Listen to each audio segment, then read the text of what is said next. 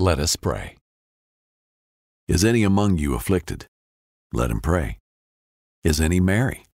Let him sing psalms. James 5:13.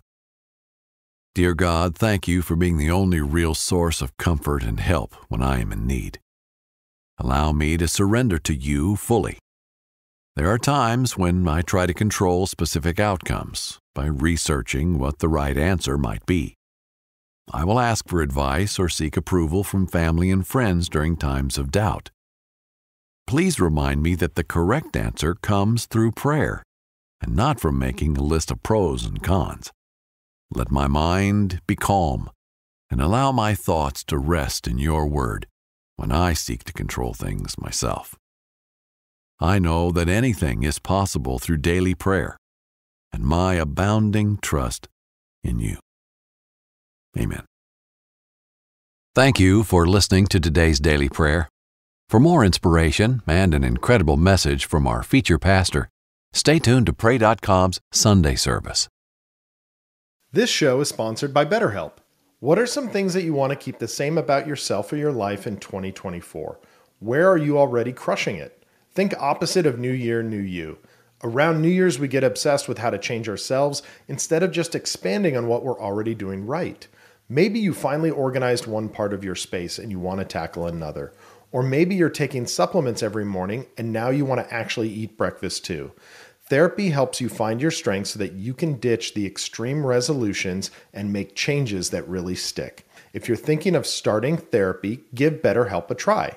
It's entirely online, designed to be convenient, flexible, and suited to your schedule. Just fill out a brief questionnaire to get matched with a licensed therapist and switch therapists at any time for no additional charge. Celebrate the progress you've made. Visit betterhelp.com slash Sunday service today to get 10% off your first month. That's betterhelp, H-E-L-P dot com slash Sunday service. Hello, this is Matt Potter from Pray.com, and I want to tell you about this new juice cleanse I've tried from Squeeze.com. As someone who's always on the lookout for healthy ways to enhance my daily life, I must say this juice cleanse has been nothing short of rejuvenating. While drinking the juices provided by Squeeze.com, I felt less bloated and had a noticeable increase in my energy levels throughout the day. This cleanse has been a game changer. Juice cleanses can range from one day cleanse to a seven day cleanse. Each bottle is labeled with a number of 1 to 5. The number corresponds to the order to drink your juice. It's super easy. You also get a bottle of cashew milk to provide the body with protein, amino acids, and just the right amount of added substance to ease into the cleanse while keeping your cravings minimal. You will also get free and fast delivery with our promo code. Head to squeeze.com and enter the code SUNDAY for free same day local delivery or fast free delivery nationwide. The podcast Bible in a Year with Jack Graham is a moving and inspiring audio experience that will help you master biblical wisdom. In each episode, you'll reignite your love for Scripture while learning to apply foundational truths to everyday life. This podcast was created to help you solidify your faith as you experience the story of the Bible through live action recordings and emotional orchestral music. Each cinematic episode is a journey through the Bible's most profound stories that will strengthen your appreciation of the Word and inspire you to keep learning. This is Pray.com's Bible in a Year with me, Pastor Jack Graham. Let's begin. Listen to Pray.com's Bible in a Year with Jack Graham on the iHeartRadio app, Apple Podcast, or wherever you get your podcast. Hello. I'm Bishop T.D. Jakes, and I want to welcome you to my new podcast with Pray.com called Sleep Psalms. Close your eyes and focus on God. Picture Him as your shepherd that knows you and surrender to Him. Each episode guides you on a serene exploration of Psalms, tranquilly calming every nerve and restless, mind turning adventure that keeps you up in the middle of the night, transposing you into the safety of his arms. He is going to lay you down in green pastures and restore your soul. Join me and let the Lord be your shepherd tonight. Listen to Sleep Psalms with Bishop T.D. Jakes on the iHeartRadio app, Apple Podcasts, or wherever you get your podcast.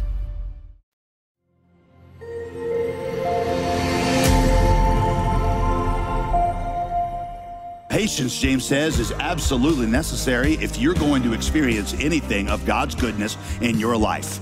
He does not work quickly. He aims to produce pearls in you, but pearls take time, and time takes patience. Welcome to Summit Life with Pastor J.D. Greear. Thank you for joining us for Sunday service on pray.com. Now grab your Bible and let's join Pastor J.D. as he opens God's Word.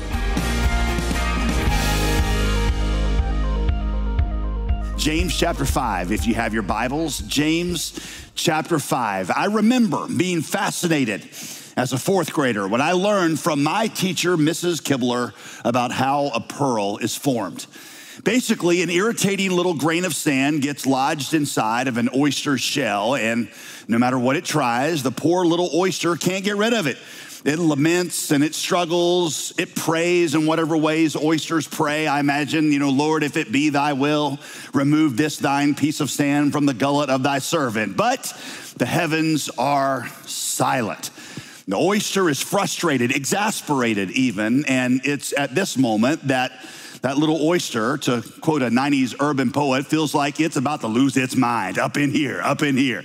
And so the oyster does the only remaining thing it knows to do to find relief. It coats the grain of sand with a, a milky substance called aragonite, a substance that the oyster normally uses to make its shell. And it covers and covers and covers this tiny irritant until that irritant has been transformed into something of great value, which we pay hundreds or even thousands of dollars for. At the end of the day, that incredibly valuable pearl hanging around your neck is the result of an irritated oyster bewildered by the fact that God did not answer its aquatic prayers. Here is the principle no irritation, no frustration, no sense of, y'all gonna make me lose my cool and act the fool up in here, up in here. None of that. In chapter 5, James explains that God aims to produce pearls in our lives. And just like with the oyster, for them to develop in us, it's gonna take time. And so he says, verse 7 Be patient, therefore, brothers. Now you see the word therefore. Therefore connects everything James has said before with what he is about to say next. So let's just take a moment and think about that. What has James talked about up to this point? He's talked about suffering. He's talked about disappointments. He's talked about frustrations that we have with each other. He's talked about our unanswered prayers and our unfulfilled dreams. And James is saying that in all of these things, God is doing something good. Even though you've asked God to take away all those things, He's doing something good. But to experience the good, we have to exercise patience. Be patient, therefore, brothers. Patience, patience, patience. I hate patience. The Greek word for patience is macrothumia. Right? Everybody want to say that together? Say macrothumia. Say it. Macrothumia. It just sounds nasty, doesn't it? Let's just all get on the same page for a minute, shall we? You are looking at a guy who is not good at patience. I, am glad my wife is not in here right now, or she would be screaming amen so loudly it would be distracting and embarrassing. Of all my many, many faults, this one is probably the worst. And I have a feeling I'm not alone. At the grocery store, at the grocery store, are you the kind of person who sizes up all the lines to figure out which one's gonna be the quickest? As I'm walking up to the line, I'm calculating who is likely to pay slowly, who is most likely to want to chat with the grocery store clerk or maybe the worst, who is going to actually pull out coupons? I'm like, it is 2023, and you're going to rummage through your pocketbook to find a mailer so you can save 20 cents on a head of lettuce. Come on. And if you're really sick, you keep track of who entered the line at the same time you did to see how well you fare against them. And if somebody finishes a couple spots ahead of me, my whole day is ruined. Patience. My lack of patience causes problems in our marriage. Sometimes, if Veronica is telling me about something and I feel like she's taking too long to explain it or to get to the point, I'll go and I'll kind of go like this. I'm telling you, those conversations never end well. And y'all, I know that's wrong and I know it's gonna end badly, but I just can't help myself. I'm impatient. And I feel like it's not even entirely my fault. We live in a culture that seems to have conspired against us to inculcate impatience in us. I mean, one click shopping, I love that. I got Amazon same day delivery and Walmart Plus can have it for me in two or three hours, and it is worth the price of both memberships just to watch them battle it out over who can get it to me faster. And would somebody please get the Amazon drone system we've all heard so much about? Can somebody get that up and working? If we can put a man on the moon, there is no reason why my replacement computer ink cartridge should not be at my door within 15 minutes. Y'all, and if there were ever a business opportunity waiting to happen, it is wedding the drone system to the Krispy Kreme hot now sign. I mean, when that hot now sign comes on, I want a notification on my phone that gives me the option to have a dozen on my desk within five minutes. There is no telling what I would pay for that. Streaming platforms now offer no waiting gratification in our entertainment. Are you like me and my wife who, who genuinely wonder how in the world we used to wait a week between episodes of our favorite shows? I mean, now if I can't binge the whole series straight through, I don't even want to start watching. We are an instant gratification culture, and while it's convenient, and I love it, it also has its share of negative effects on us. Dr. Paul Brand, who was a, a, renowned orthopedic surgeon who spent half of, his, half of his career working in Asia and the other half in America, he said, and I quote, people in technologically advanced societies live at a greater comfort level, to be sure, but they seem far less equipped to handle suffering and are far more traumatized by suffering when it inevitably comes. Why is that? Why do you think? Why are people today so less equipped to endure pain and suffering. The magazine Psychology Today ran an article not too long ago explaining that there has been a dramatic increase in the number of students asking for treatment for anxiety, depression, and addictions on campus. We all know that, we've heard that. But it was their explanation for why this was happening that I found most fascinating. They said, and I quote, for young American adults, there is no psychic middle ground anymore. Frustration catapults immediately into crisis. There's no psychic middle ground between desire and the fulfillment of that desire. We don't know what to do with that space, that psychic middle ground. That's called patience. And we just don't have it. But patience, James says, is absolutely necessary if you're going to experience anything of God's goodness in your life. He does not work quickly. He aims to produce pearls in you, but pearls take time and time takes patience. So, first, let's just read this passage and then we're gonna ask two questions. Number one, what exactly is patience? And then, secondly, we're gonna ask how can we develop patience? Verse seven, if you got your Bibles, be patient, therefore, brothers, until the coming of the Lord. See how the farmer waits for the precious fruit of the earth being patient about it until it receives the early and the late rains. You also be patient, establish your hearts, for the coming of the Lord is at hand. Do not grumble against one another, brothers, so that you may not be judged. Behold, the judge is standing at the door. As an example of suffering and patience, brothers, take the prophets who spoke in the name of the Lord. Behold, we consider those blessed who remain steadfast.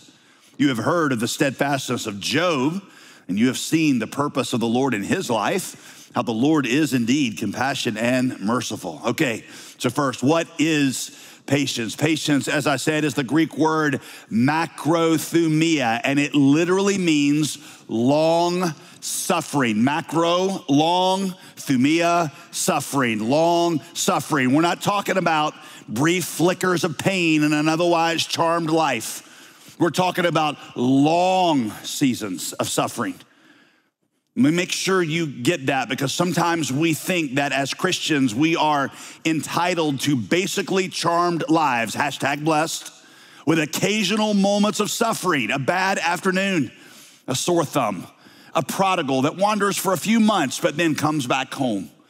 We get passed over for promotion at work, but, but very quickly vindicated and then rewarded with more. But but you see, the word patience in and of itself implies suffering that lasts a long time. A long time. Say it again. Say, say, say macro. Macro. Do your hands like this when you say it. Macro. Long. Thumia. I do this right here for suffering, okay? Long suffering. There's your object lesson for today. All lightness aside, I know some of you are there now. And I know it's hard. You're in pain. You're single and you don't want to be single. You can't find a job. You've been treated unfairly. You were lied about. You were taken advantage of. Macrothumia. James uses another word in this passage as a synonym for patience steadfast. Verse 11 Behold, we consider those blessed who remained steadfast. Steadfast is the Greek word hupomoneo or hyper stand, hupomoneo. Think of it as standing that won't quit. Tom Hanks stars in a, a great movie called Bridge of Spies that illustrates this word very well.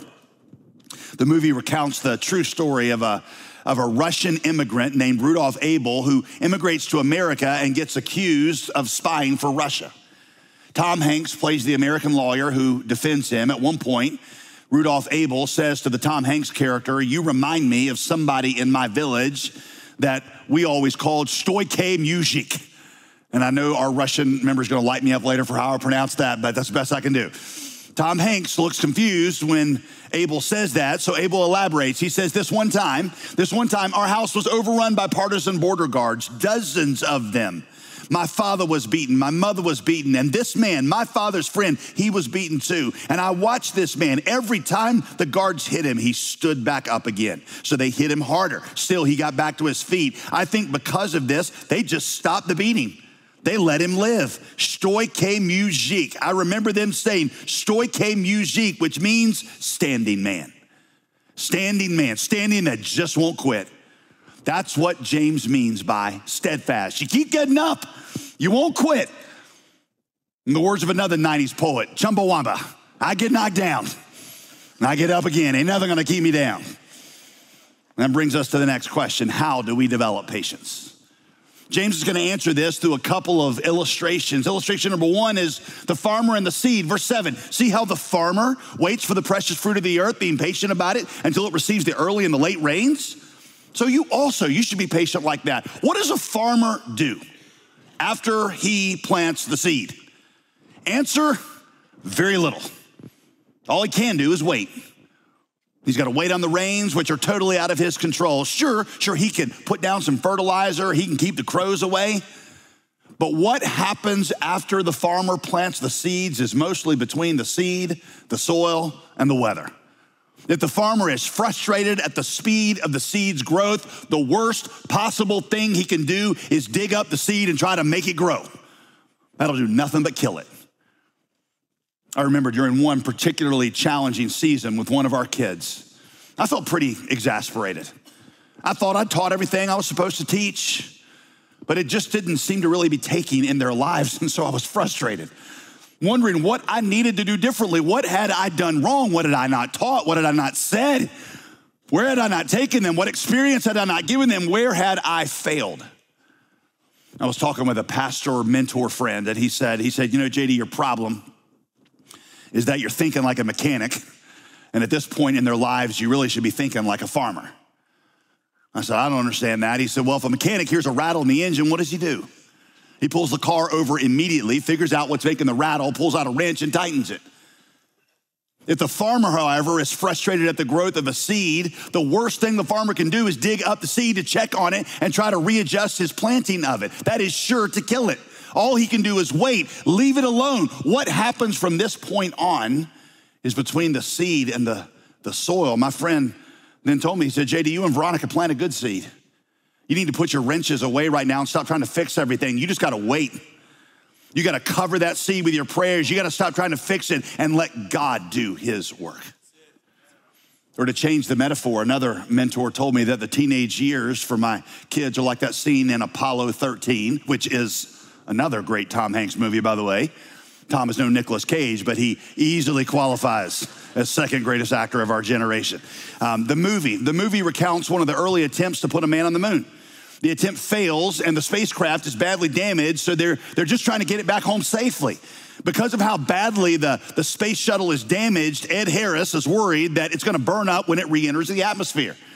And when it enters the atmosphere, they lose radio contact with it for like, it's like four minutes. And all they can do, and all we, the audience, can do is stare at the place where it is supposed to reemerge from the atmosphere. Even if you know the history, you know it's coming out, but it's, it's still like the longest, the longest, tensest four minutes of any movie anywhere.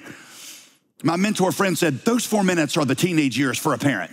It's radio silence. All you can do is stare at the place where they're supposed to emerge. You're like, well, they went in at the right angle. I hope the shields work. Here's hoping. Now, some of you are wondering, what does being an astronaut have to do with being a farmer? Here's what they have in common it's that middle space, that vacuum of helplessness, that, that, that, that, that, that period, that ellipsis of waiting where you've done what you can do. And now all you can do is trust God to send the early and the late rains. Don't try to dig it up, don't try to fix it. Stop trying to play God. Here's his second illustration the prophets and Job. Verse 10 as an example of suffering and patience, brothers, take the prophets who spoke in the name of the Lord. Many of the prophets, you know, preached for years meeting with nothing but persecution and opposition. They weren't given big auditoriums, they weren't given book deals and, and big honorariums. They were given persecution and opposition before any of their prophecies came true. For example, think of Noah. Noah, who seemed like a genuine crazy man, talking about a worldwide flood for 120 years before the first raindrop fell. Or Joseph, whom God had destined to save Israel and rule Egypt, but was first betrayed by his brothers, sold into slavery, falsely accused, and then imprisoned for two decades. Or how about Isaiah, who wrote those beautiful words in Isaiah 53 about a suffering but victorious Savior who would be wounded for our transgressions and bruised for our iniquities, and by whose stripes we would be healed, but but whose own life ended not with a big book signing tour or a platinum worship album featuring all those great lyrics. No. No, Isaiah's life ended, Jewish history tells us, with the rebellious, unbelieving king putting him into a hollowed out log and cutting it into. That's how his life ended.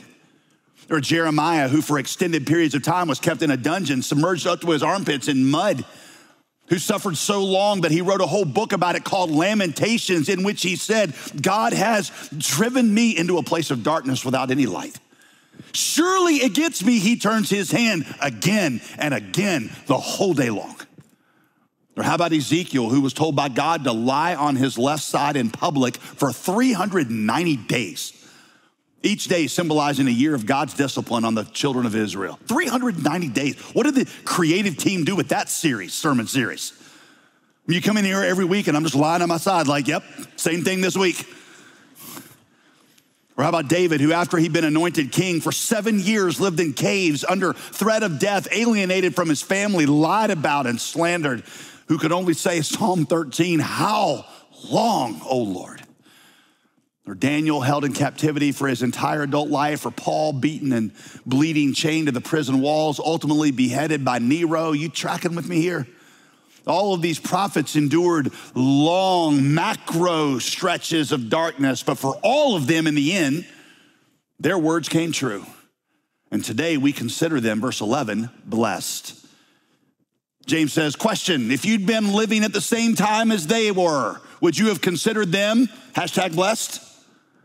Would you have looked at Jeremiah in the dungeon or Daniel in exile or Paul in chains and said, now there, there's a blessed man? It's only now that we consider them blessed. They had to, they had to wait for it. Macro, thumia. And then James points to one more person whose case is so special that he has to mention him directly by name. You've probably also heard, he says, of the steadfastness of Job.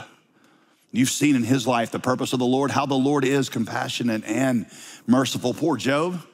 Job was a man who had legitimately no idea about what God was doing in his life. There were things happening in the heavenly realm he had no knowledge of whatsoever. And, and God allowed Satan to inflict on Job all kinds of pain body pain, family pain, the death of his kids, marriage pain, friend pain.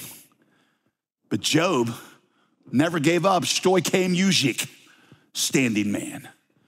He kept getting up, and in, in time, Job came to see two things. First, that God's presence never had left him. Job is the one who said in the midst of his pain, I know my Redeemer lives, and I know one day I will stand with him alive on the earth. Y'all, at the time, Job did not even know half of what it would mean for God to be his Redeemer. How much it would actually cost God for God to stand there with him on the earth. Job just sensed God had never left him and would redeem him from trouble. Second, Job came to see that even when it felt like God had abandoned his good work in Job's life, he actually hadn't. In fact, we learn at the end of Job's life, Job 42, I think it's verse 6 or something, the Lord restored the fortunes of Job. After he had prayed for his friends, and the Lord gave Job twice as much as he had before. God gave Job back double, which doesn't mean, I've told you, that, that that's what always is going to happen in your earthly life that when you lose your job that you're guaranteed a new one just around the corner where you work half the hours and get twice the pay. That's not the point. Job's restoration in chapter 42 is a picture of eternity. How all things will be restored to us in eternity. But what job's life does show you james says verse 11 is the purpose of the lord you can see from job that that the purpose of the Lord is actually compassionate and merciful. In Job's life, you and I get to have a glimpse of what God will ultimately do with all of us, both in this life and in eternity. We see that though the arc of God's goodness is long, it never stops bending toward goodness and will one day fully resolve into infinite goodness. And that was true even when Job couldn't feel it. Y'all, Job was the first one to sing, even when I can't see it, you're working. Even when I can't feel it, you're working. You never stop. You never stop working. In verse 9, James identifies the opposite of patience the sign that you're not exercising it. Verse 9, do not grumble against one another, brothers, so that you may not be judged. Behold, the judge is standing at the door, grumbling. Grumbling, the word takes us back to Israel wandering in the wilderness because that's what characterized their 40 year experience grumbling. They didn't trust God, so they grumbled against God and they started grumbling against each other, which is what always happens. You take out your frustrations with God and how He is letting your life go, you start taking that out on somebody else. You remember how in our study of chapter four, how we saw that our anger at one another is usually fueled by the fact that we're not getting what we want, which ultimately goes back to a problem between us and God? Now, again, like I said then, that's not to say the other person's not genuinely at fault, just that ultimately the, your rage comes from something that has nothing to do with that person. You're not getting what you want. They're keeping you from it. And the fact that it upsets you so much points to the presence of an idol in your life, which has nothing to do with them. That is against God. James says, don't grumble out your frustration with life and with God. Don't take that out on each other. Even if that person really is at fault, don't dwell on it. Don't seed to get revenge or be vindicated. God will handle that, and God will be back real soon. You see that, that phrase that says the judge is standing at the door? If I, y'all, if I know the judge is literally right there by the door, he's about to walk in, I don't need you to vindicate me. I don't need social media to vindicate me. I don't need to get even with you. If that judge is standing at the door, he's about to walk in and take care of it. I can be like, just you shut up because dad will be back real soon. So, those are James's examples of how to develop patience the farmer and the prophets in Job. Now, using those two examples, could we just make this really, really practical? When you're in that season of long suffering, and some of you, again, are there this morning, how can you develop patience so that God can do his work in you? James tells you to look three places. This is as practical as I can make it. He says, First, I need you to look backwards. Remember the purpose of the Lord that you saw in the prophets and in Job, how the Lord really is compassionate and merciful. Through the prophets and Job, you have seen what the Lord's purpose is. And Summit can I say that we've seen it now somewhere even more convincing than in the prophets and Job, in the cross and resurrection? We see the purpose of the Lord, how he is indeed compassionate and merciful, more compassionate and merciful than any of them ever even imagined. Through, though we endure a crucifixion on Friday, we now know there's always a resurrection coming on Sunday. Though weeping lasts for a night, joy comes in the morning. And in the cross and resurrection, pay attention here. Watch this in the cross and resurrection, we see, follow me, that there's a time gap between the suffering and the resurrection. By the way, you ever wonder after Jesus died why he wasn't resurrected immediately? He's crucified on a Friday afternoon, but he wasn't resurrected until Sunday morning. Honestly, I can get God waiting at least until the morning, you know, give it a full night to prove that he's dead. Plus, morning resurrection is more symbolic with the sun coming up and, and everything. It's better for the little postcards we would make one day about it. So, you know, I, I get waiting until the next morning. But why wait another whole day? I mean, how hard must that have been for those disciples? The Messiah that they trusted themselves to and left everything to follow, the Messiah was dead. They were confused. Their whole world had come crashing down. They didn't know where to go. They were lost. They just hid for like all that time. Why wait a whole full two days before resurrecting? Well, all that delay was in part because so much of our lives feel like we live on that second day. It's that middle space of pain that middle space of delayed gratification where we're like, God, where are you? Where's your goodness? When's this answer gonna come? It's like you're completely gone. Listen, y'all, our Bibles, you ever notice this? They're filled with three day stories. Abraham's got to walk up a mountain for two days thinking he's going to sacrifice Isaac until Genesis says, on the third day, God stopped him and provided a ram as a substitute. Why not stop him as soon as Abraham said yes? He had to wait three days for it. Esther fasted and prayed to stop a genocide directed against her people. And the king, it says, changed his mind on the third day. The question is why a day in between the desperation and the salvation? Why isn't every three day story a two day story instead? It's because God is producing pearls of faith and steadfastness in our lives. And pearls take time, and pearls take patience. And so James says, in a time of waiting, look backwards and see how God has worked in the past. And then he says, look, number two, forward. Establish your hearts, for the coming of the Lord is at hand. That word establish means become fixed like concrete. Throughout this book, James has talked about unstable people like the wind, like grass, like a wave of the sea. This word, established, concrete, implies the opposite of that. The way we become established, James says, is by how? How do we become established? Look, look at your Bibles. What's he say? Not me, your Bibles, okay? I wanna see the tops of your heads right now, not your eyes. What does it say? How do you become established?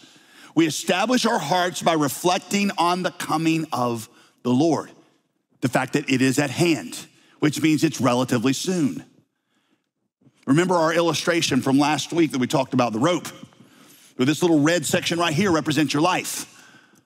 And this section right here represents eternity. This little time period that we, we call life seems so long sometimes, but it's a teeny tiny fraction of eternity. And any suffering you experience now in that red part is more than made up for in the expanse of, uh, in the expanse of eternity. And that's relatively close, he says. Now, I do want to be clear here. We can and should expect the inbreaking of God's goodness into our lives now. To you quote King David, in the land of the living. David's like, look, I, I don't want to just praise you in heaven. I'm going to praise you in heaven. It's going to be awesome in eternity, but I want to celebrate your goodness and your answers to prayer now in the land of the living. Job experienced that. Many of the prophets experienced that too. We should pray for the inbreaking of God's goodness and we should expect it. But the point remains for some things, to get to that final resolution, we got to wait until eternity for the pearl. God promises He's working all things in our lives for good, but sometimes we can't see it. And we got to wait until eternity to, to see full resolution. James says, hang on, it won't be long. The Lord is at hand. I can't help when I say that, but think of some of the old rich Negro spirituals that arose out of the suffering of black Christians in slavery, blatant, outright injustice that looked to them like it would have never ended.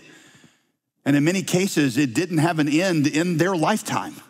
They died in those earthly chains of oppression, but they defiantly sang, like James instructs them to here Jordan River is deep and wide, hallelujah. Milk and honey on the other side, hallelujah. Swing low, sweet chariot coming forth to carry me home. These slaves felt as if they had nothing on this earth, so they waited eagerly for him. Maybe you feel like there's no resolution ahead for you, and, and you know, I'll be honest, I wish I could, but I can't stand up here and tell you that All oh, relief is right around. I mean, just, you know, just give it to tomorrow. It's gonna be fine.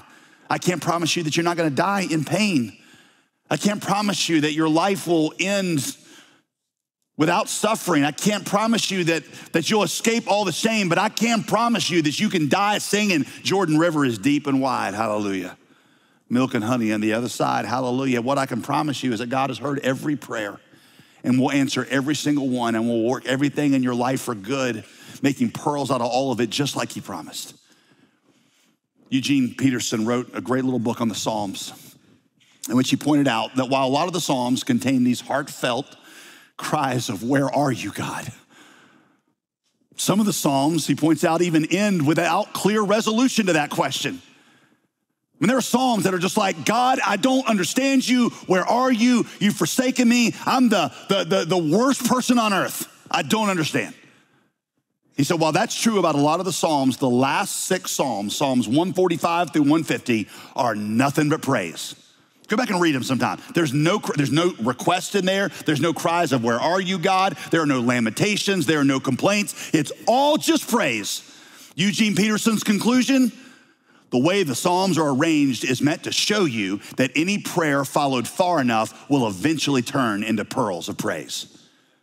Soon enough, you and I are going to sing the praise of these Psalms like Psalm 145, which I have paid my kids to memorize a couple summers ago. The Lord is faithful in all his words and kind in all his works. The Lord fulfills the desires of those who fear him. He hears their cry and he saves them. All your works, including me, all your works, O Lord, will praise you. Your kingdom is an everlasting kingdom and your dominion endures throughout all generations.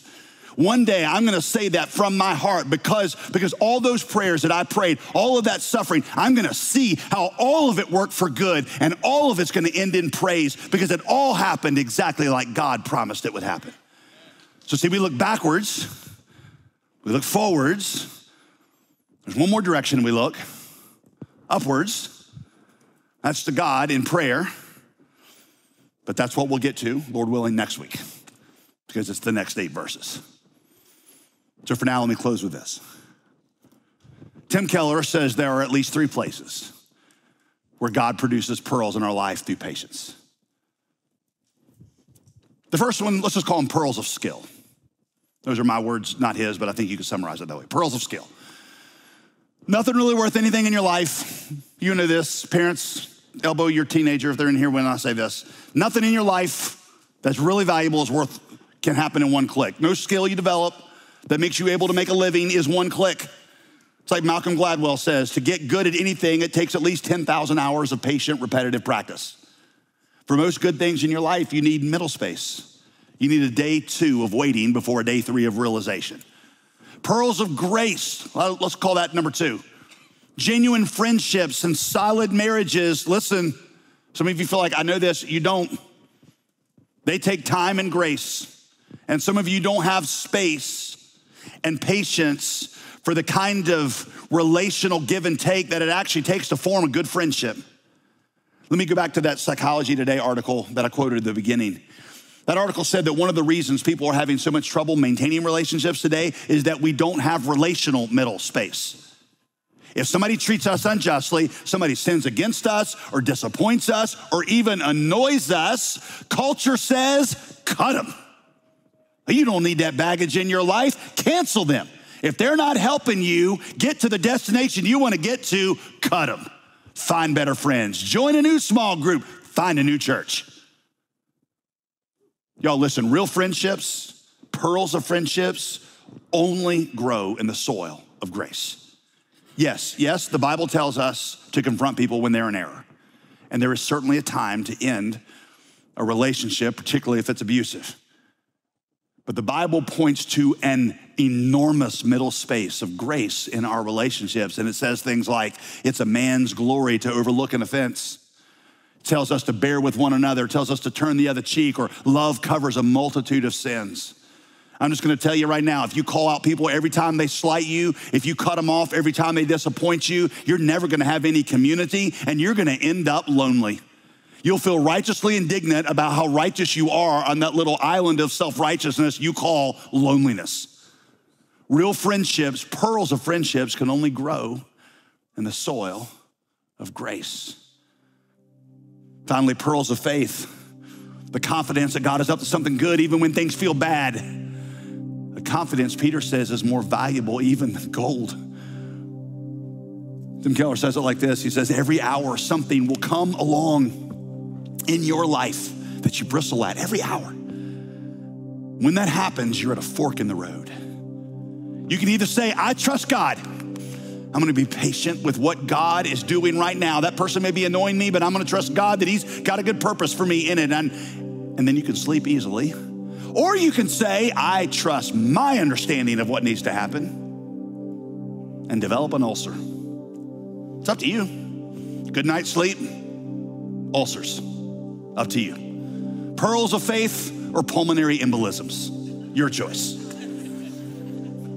Tim Keller's definition of faith, or patience, excuse me. Patience is graciousness, steadiness, and faithfulness in the face of delayed gratification.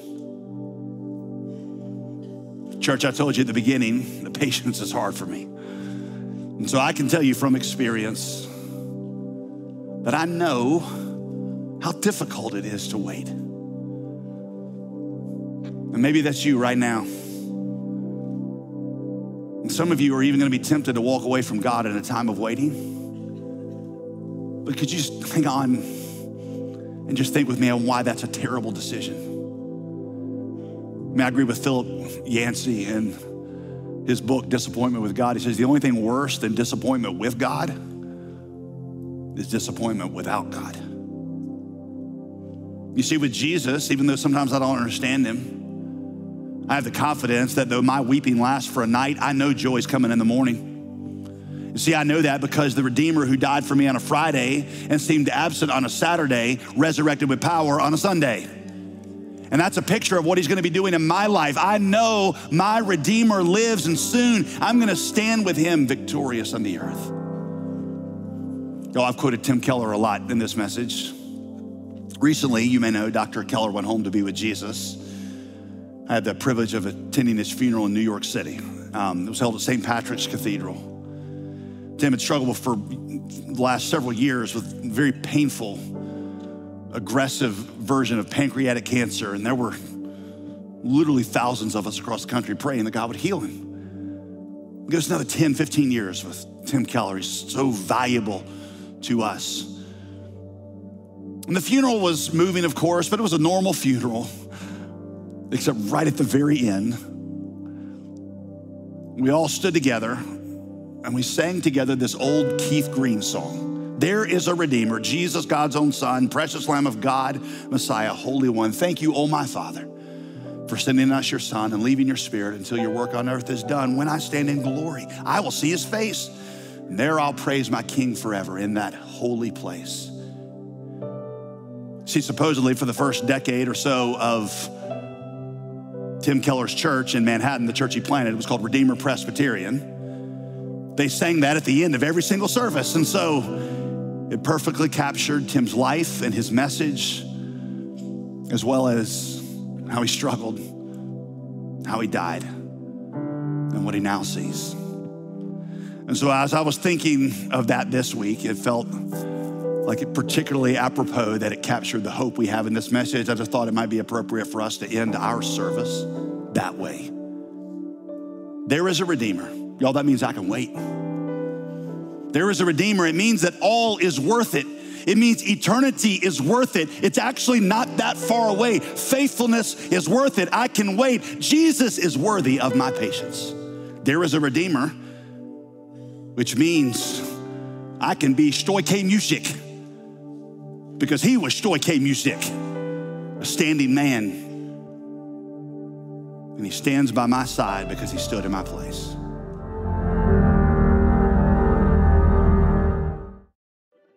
As we look ahead to a new year, many of us spend time setting goals, a way of deciding how we'll ultimately spend our time. After all, we can't add any more seconds to the day, so it's important to use the time we have intentionally. Often we prioritize our health, education, or finances, but the most important thing we can invest our time in is what lasts forever. Our newest resource, the Summit Life 2024 Day Planner, is designed to keep you organized and on track with more than just basic time management. The new year is a great time to take stock of your life and decide how you want to grow in your relationship with God in the coming months. In addition to a full view of each month, this 12 month planner also features a week by week layout with space for appointments, notes, and reflections. The planner uniquely includes key scripture references each month and a Bible reading plan to help you maintain the vital spiritual discipline of consistently spending time in God's Word. Very few goals in life actually happen without a plan to implement them. We pray this planner will be a great tool to help you manage not only your personal life goals, but also your kingdom goals. Request a copy of the Summit Life 2024 Day Planner when you give to support the ministry of Summit Life. Call 866 335 5220. That's 866 335 5220. Or go to jdgreear.com and request this resource today.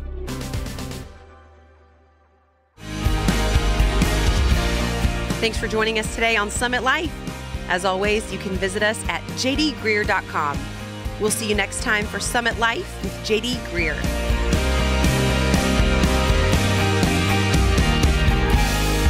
Today's program was produced and sponsored by JD Greear Ministries.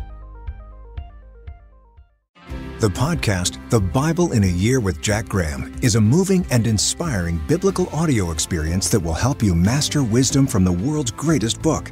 In each episode, you'll learn to apply biblical principles to everyday life. Each cinematic episode is a journey through the Bible's most profound stories that will strengthen your appreciation of the Word and inspire you to keep learning. Listen to The Bible in a Year with Jack Graham on the iHeartRadio app or wherever you get your podcasts.